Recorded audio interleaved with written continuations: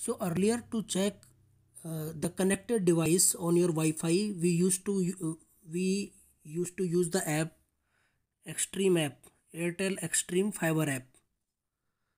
Now Xtreme Fiber app is discontinued. So now you can check the connected devices on your Airtel Thanks app. So on your Airtel Thanks app for Airtel Thanks app you can check your app like this Airtel. Thanks. Now from the services section click on the Wi-Fi. Okay? So here you are able to see this is my Wi-Fi. So I will click here.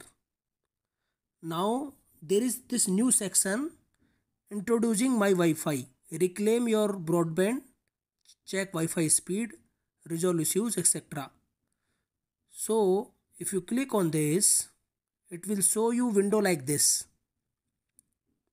So basically it is fetching your router details.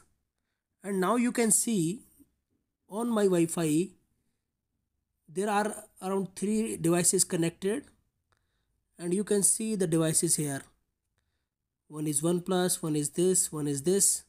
And you can also pause their internet from here.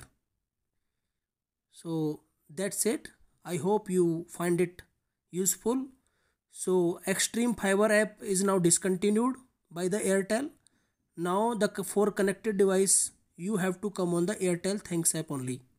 If you find it useful, do like, share and subscribe my channel. Thank you.